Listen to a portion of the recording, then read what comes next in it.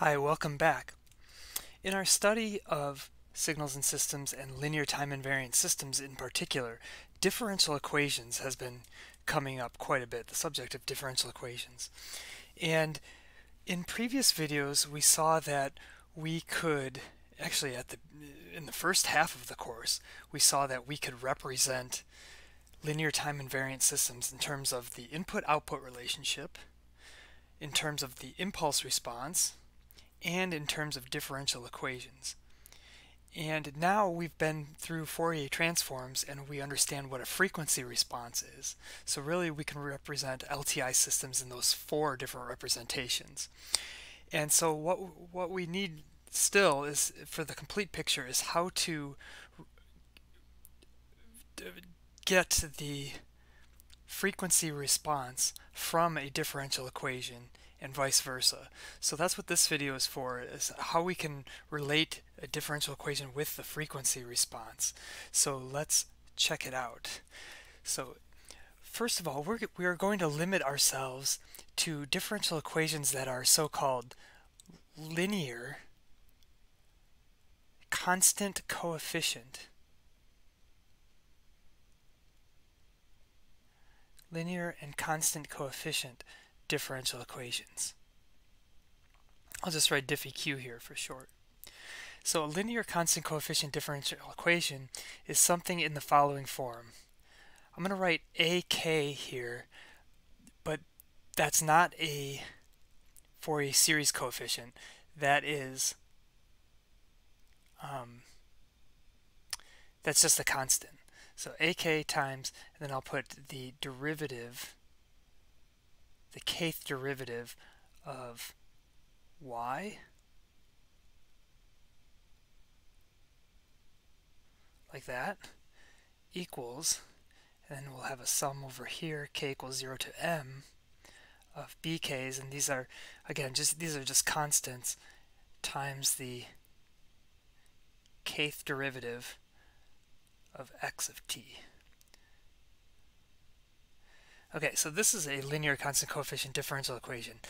They are written in this form. So we have a constant, so that's the hence the constant coefficient part, a constant times the derivative, and we can have any number of derivatives here. So this would be an nth order differential equation because the output y depends on the nth nth derivative of y.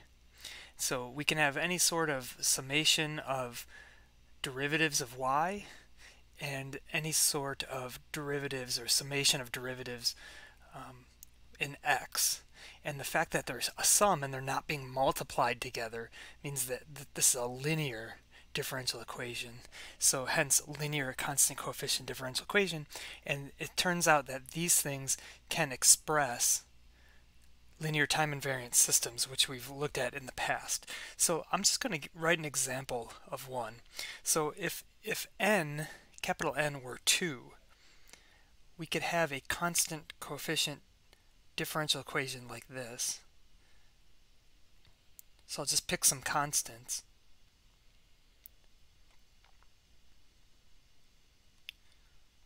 Okay.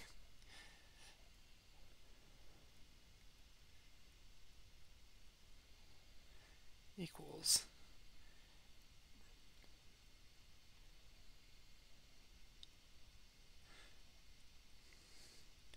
All right. So here is a linear constant coefficient differential equation. So this is a second order. So capital N is 2. So we've got derivatives 0. Here's the zeroth derivative. Derivative 1, there's the first derivative. And derivative 2, there's the second derivative. And the coefficients are 3, 4, and 1 respectively and then we have a sum of those things.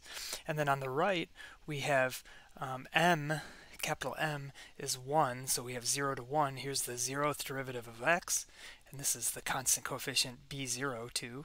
And then here's the m equals 1 first derivative of x, and the coefficient there is 1. Okay, so you see how this is a specific example of our general linear constant coefficient diff right over here. So now, in this somewhere is a frequency response. How do we get it? This is describing a linear time invariant system. How do we get the frequency response? So what we're going to do is apply the linearity property, which you should have a good handle on by now. The linearity property allows us, we're going to take the Fourier transform of this equation, and the linear linearity property allows us to take the Fourier transform of each term separately and forget about the constants and just tack the constants on afterwards. That's what that's loosely what the linearity property says. So I'm going to take this piece first. So I'm going to look at I'm going to use this notation where this is kind of like a script f meaning Fourier transform of this piece, right? I'm going to probably run out of room. Let me shift that over to the left a little bit. Okay. Then the linearity property allows me to take four times the transform of dy dt and then plus three times the transform of y of t equals then the Fourier transform of dx dt plus 2 times the Fourier transform of x of t. You see that? So that's the linearity property. That should be good. Now, let's assume x of t, as we have been doing in the past notationally, has transform capital X and y has transform capital Y. Okay, so then we, if we make that assumption, now we can start hammering out these Fourier transforms. So for example, this third term on the left side, this is 3 times the Fourier transform of y, so that's 3 times y of j omega. And I'll get to the other terms in a second. And then on the right, the uh, this guy, 2 times the Fourier transform of x, that's going to be 2 times capital X, right? Now what do we do about the derivative terms? Well, now we are going to apply the differentiation property, differentiation in time. Differentiation property.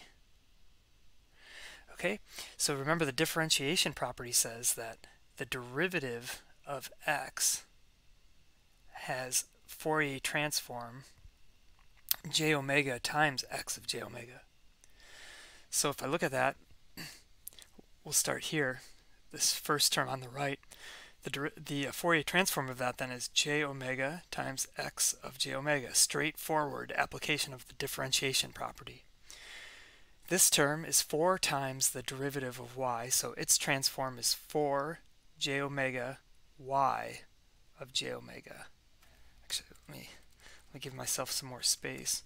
So this is y of j omega 4 j omega y of j omega. And then this guy, what am I going to do here with, that, with the second derivative? Well, each time I take a derivative, I multiply by j omega, so this becomes j omega squared times y of j omega.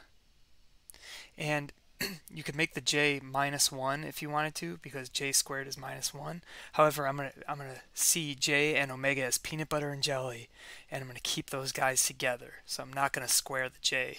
You'll see why in a little bit. So I hope you can read that. That's j omega squared times y of j omega and then plus 4 and so forth. Okay, so we've applied these two properties now that we're experts um, with these. And now, if you notice, on the left, every term has a y of j omega.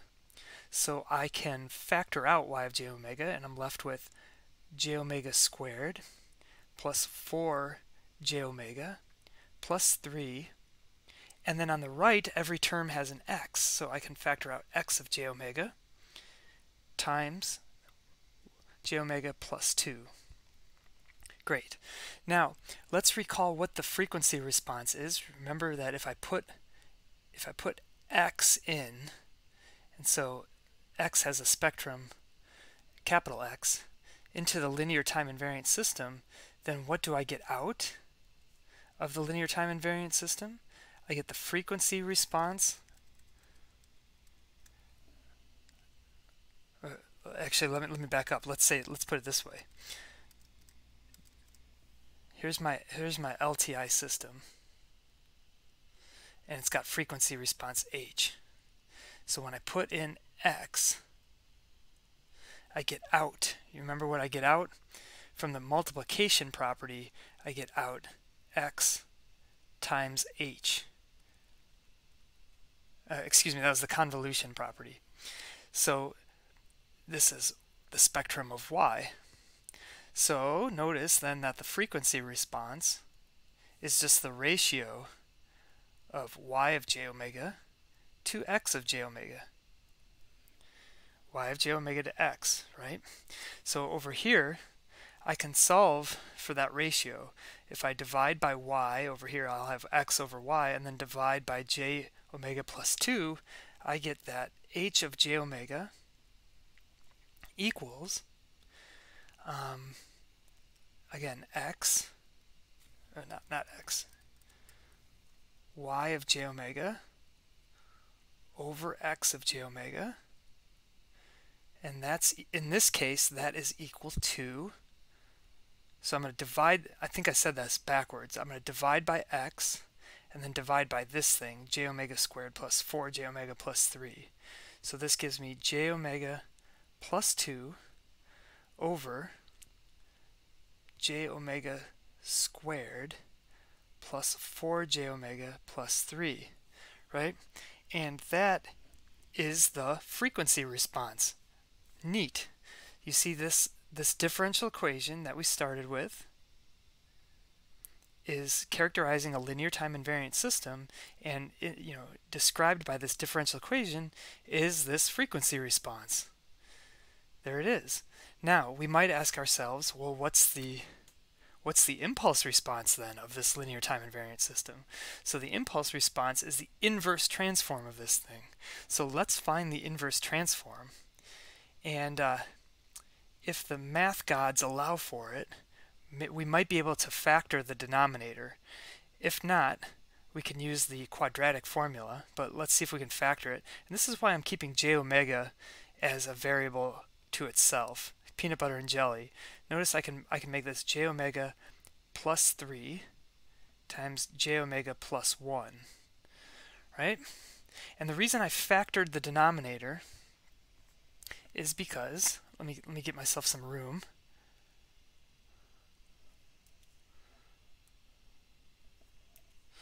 Is because, oh, I'm going to write it up here, j omega plus 2 j omega plus 3 times j omega plus 1 so that I can write it using partial fraction expansion like this. A is a constant and B is a constant. And I need to figure out what those constants are, and so I'm expanding the fraction.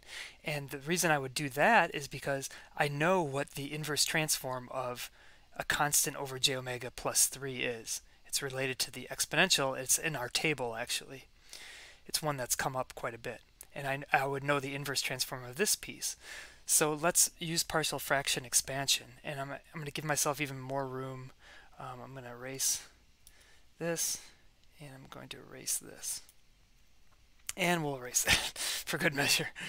Anyway, to get A, now I said this in an example video, but I'm going to say it again. I'm going to use a method of partial fraction expansion that, that I learned as an engineering student, and I find that it's different than, than most other students. Um, I, I, encourage you to try my method. My method is faster and it can be done in my head. I think it can be done in your head. I'm very slow in math actually. So if I can do this in my head and quickly, then I, I, I bet you can do it in your head after you get some practice. But I'm going to show the, the, the, gory details at first until you get the hang of it. Um, what I'm going to do is multiply, to get A, I'm going to multiply this equation by A's denominator. So A's denominator is this thing. So I'm going to multiply the whole equation. So to get A, that's my A colon, means to get A. Um, on the left, the j omega plus 3 cancels because I'm multiplying everything by j omega plus 3. on the right I just have a there and then I have b times j omega plus 3 over j omega plus 1 like this.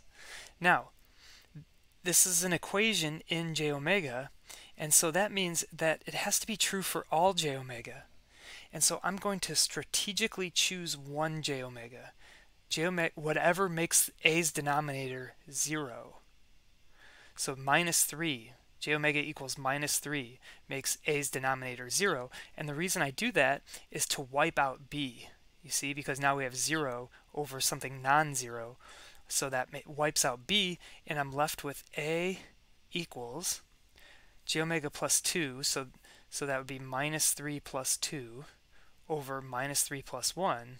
So that is minus 1 over minus 2, right? So that is 1 half. Okay, so that's how you get A. And I bet you you can do B on your own and maybe even in your head, but um, I'll write it out again just to remind you, what we did here was multiply by the denominator of a and then set j omega equal to whatever makes that denominator 0.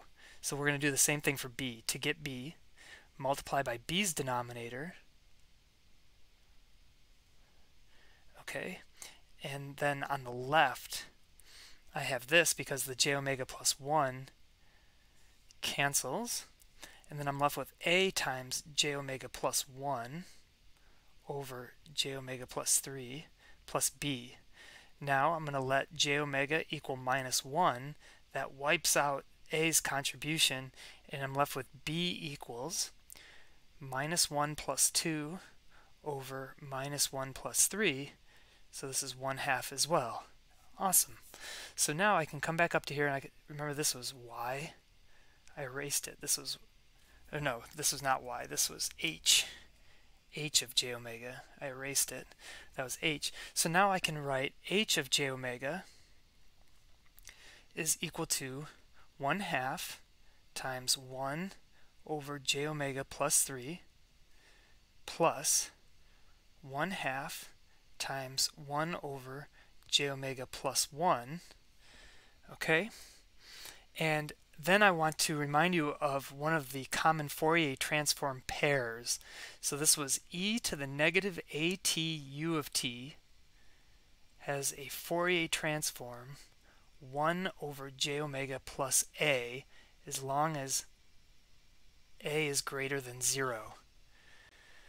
Okay, so that's exactly what we have here in this first term with a equals 3. And why can I just consider the first term separately? That's because of the linearity property. Linearity allows me to consider this piece by piece and forget about the 1 halves and just write 1 half times. Now this piece has an inverse transform of, of e to the minus 3t u of t.